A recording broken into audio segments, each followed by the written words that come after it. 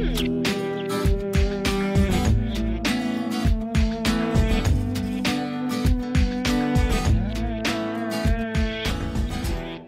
I'm Chris Harper and with me is Makayla and we're here to demonstrate an application for full knee support. You can use this application for patella tracking problems, tendon issues, instability, or general knee pain.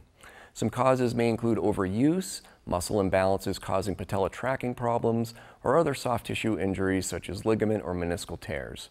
KT tape helps by providing stability, relieving pressure, and improving muscle function.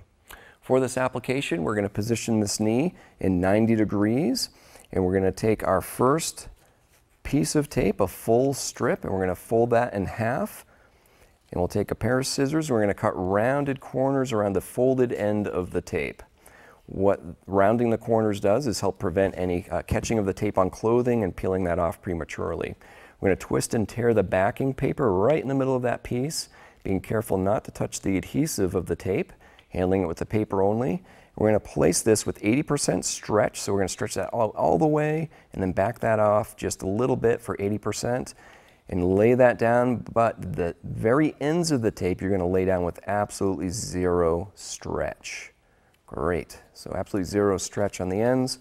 We're going to take our second piece that we created off that first full strip, peeling that paper back. Just like the first piece, we're going to apply nice even pressure to 80%, going just above and over that first piece. Again, we're going to lay those tails down with zero stretch. Great, looks good. Okay, we're going to take our next piece and we're going to twist and tear the paper down by the logo end of the tape to create an anchor point. We're going to measure this from the kneecap around, or just below the kneecap, around the kneecap, and lay that anchor point up on the quadricep muscle, up on the thigh muscle. Okay, we're going to remove the paper backing. We're going to apply this with 25% stretch. So if you stretch that out all the way and then back that off half and half again, and you're going to trace the outer edge of that kneecap with the edge of that tape. As you wrap down around the front of the knee, you are now going to apply 80%, or sorry, 50% stretch.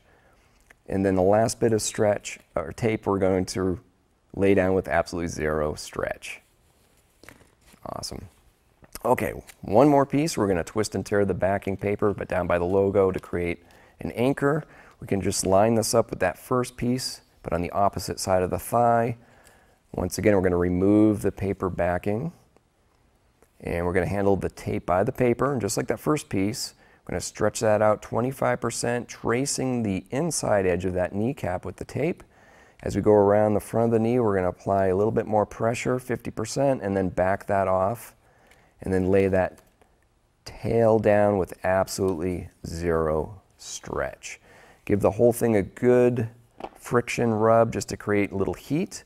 That allows the adhesive to stick to the skin much better. Make sure you get all the corners, rub that on well. Great, looks good.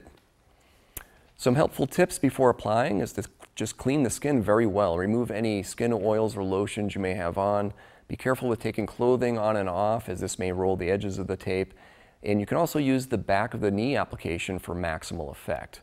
Some complementary treatments are rest, ice, foam rolling, anti-inflammatory medications such as ibuprofen, um, and get a gait analysis or analyze your walking with a professional and correction for this.